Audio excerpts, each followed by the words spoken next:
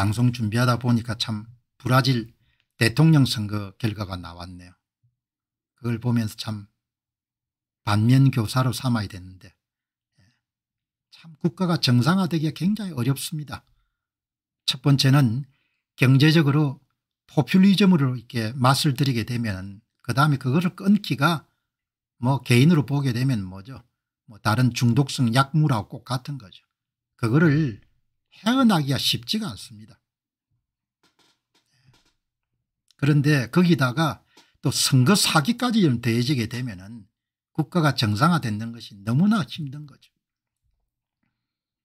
너무나 부정적인 이야기를 해서 좀 불편하신 분도 계시겠지만 제 성정 자체가 뭐 꾸며가지고 없는 이야기를 만들어서 하거나 이런 것이 전혀 아니니까 뻥튀기를 하거나 그냥 있는 그대로 내가 갖고 있는 생각 판단 전망에 따라서 그냥 이야기를 하는 거죠. 정말 국가는 궤도를 이탈하고 나면은 정상 궤도로 돌아가기가 정말 힘듭니다.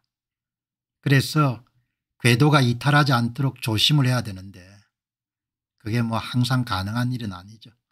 그리고 궤도를 이탈하게 되면은 초기에 그 궤도 이탈을 바로 잡을 수가 있어야 되는데 그게 또 쉽지가 않거든요. 브라질 보시기 바랍니다. 꼭 우리 우리 앞에 뭔가 이렇게 예, 시사점이 큰 사회네요. 경제 붕괴 브라질 again 룰라 중남미 좌파 대부 11년 만에 컴백 초읽기 룰라 전 대통령 10월 1일 1차 대선 투표 승리 목표 중남미 주요 6개국이 좌파 사상 최대 펑크타이드 완성 예. 우파 후보인 보우소나루 대선 불복 쿠데타설까지 예. 한번 이 길로 가게 되면 어렵습니다. 계속해서 나누어줘야 되기 때문에 예. 참 중남미를 보게 되면 어떻게 가난이나 이런 것을 부패나 가난을 벗어날 길이 없는 것 같아요. 룰라의 귀한 중남미 최대 국가 브라질에서 대통령 선거가 치러져서 루이스 이나시우 룰라 다시우바 전 대통령의 복귀가 초일기에 들어갔다는 전망이 나온다. 중남미 정치 지형에도 큰 영향을 미칠 것 같다.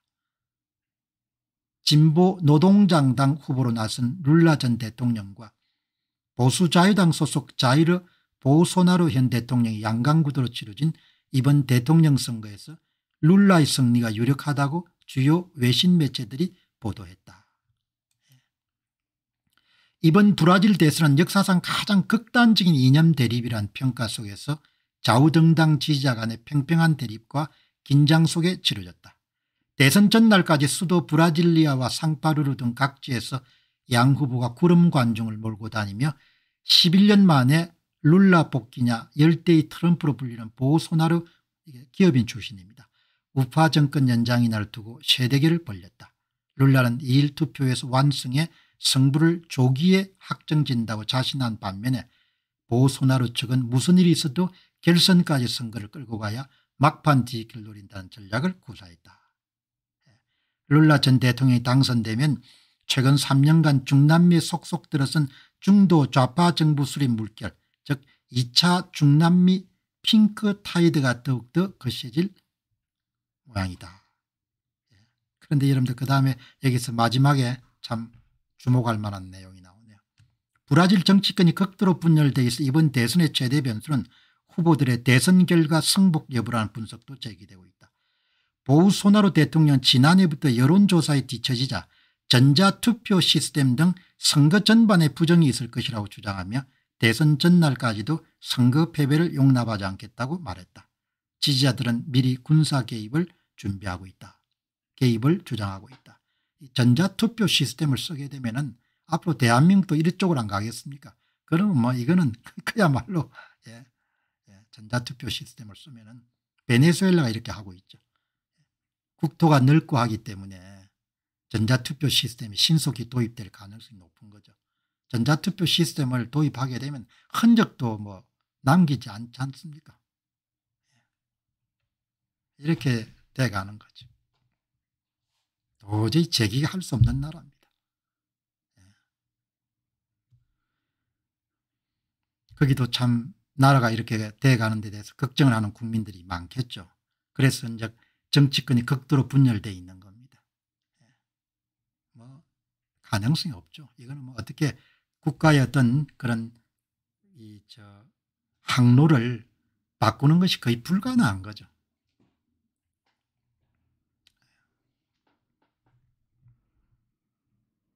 개인이야 뭐 예를 들면 정신을 좀 차려 가지고 뭐 이렇게 구습을 단절하고 새로운 길을 선택할 수 있지만 수많은 사람들이 이익이 뭐죠 얽히고 설킨 그런 사회나 국가라는 것은 진로를 바꾸기가 그렇게 어려운 겁니다. 그리고 이렇게 이제 공짜가 살포되게 되면은 그 공짜를 중심으로 해서 또 다른 어떤 기득권 세력들이 생기기 때문에 어, 아주 어려워요. 우리가 뭐 남미를 저렇게 이제 뭐 손가락질 하지만 글쎄요. 우리가 그 예외가 될 수 있을지는 저는 아주 회의적입니다. 지금도 이런 보시게 되면 뭐 지난 정권에서 정책 실패로 인해 가지고 가계부채를 엄청나게 올려놓으니까 지금 금리를 못 올려가지고 항상 지금 환율이나 모든 부분들이 다 불안해지지 않습니까 까딱 잘못하면 뭐죠 휘청하겠죠 뭐. 잘못된 정책이라는 것이 여러분 제가 외환위기 때 30대 말이었지 않습니까 연구소에 있을 때 그때 이런 가장 뼈아프게 이름 깨우친 것이 한 나라의 정책이 정직한 정책이 안 되면 반드시 당하구나 그런 생각을 했거든요. 예. 그러니까 뭐 5년 내내 뭐죠 시장을 왜곡하고 그냥 그야말로 사기와 윗선으로 점철된 그런 정직하지 못한 정책을 썼으니까 지금 윤 정부가 굉장히 지금 어려운 상황을 맞고 있는 거죠. 사람들이 어떻게 그렇게 어리석은지 모르겠습니다. 제가 방송에서 늘 말씀드리다시피 세상사에 건너뛰는 법이 하나도 없다는 겁니다. 큰 선택이든 작은 선택이든 간에 잘못 선택하게 되면 그리고 고쳐야 될 그런 질병을 안 고치게 되면 반드시 비용을 10배 100배 1000배 만배 치르게 되는데 그거를 어떻게 사람들이 그렇게 그냥 넘어갈 거다 이렇게 생각하는지 알 수가 없는 거죠. 예. 한 분이 이렇게 말씀합니다. 데니님이 남미 국가들이 못 살게 된 이유는 부자한테서 돈 뜯어내서 배급 주는 전형적인 좌파 포퓰리즘 정책이. 결국 국민 민도의 문제고 남일 같지 않습니다. 공짜는 좋으니까 달콤하니까. 예. 뭐 이렇게 브라질에서 혹시 방송을 들으시는 분들은 우리가 잘 알지 못하는 그런 또 브라질 내부에 세세한 부분들이 있을 것이기 때문에 뭐 단정적인 그런 표현을 쓸 수 없지만 이렇게 국가가 나가게 되면은 뭐 벗어날 길이 없는 겁니다. 네.